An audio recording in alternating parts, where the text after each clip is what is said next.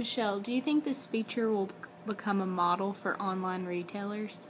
Definitely. I think, you know, Keep has done something really unique, whereas it's not a new idea to have a universal shopping cart, but their execution of it is pretty much revolutionary, and nobody else is doing this yet.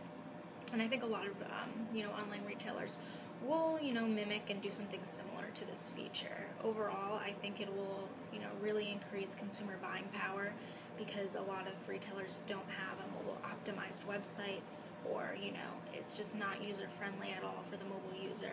And so i think by having this it just increases the likelihood that consumers will purchase more and buy more. And there's really nothing better than being able to pay for everything all in one shopping cart and be burdened with you know having to go through multiple checkouts and you know input your credit card information multiple times which there are security concerns with that. And so i think keep you know really mitigates a lot of consumer concerns with e-commerce. And i think that this feature will you know overall just kind of increase um, revenue on mobile as a whole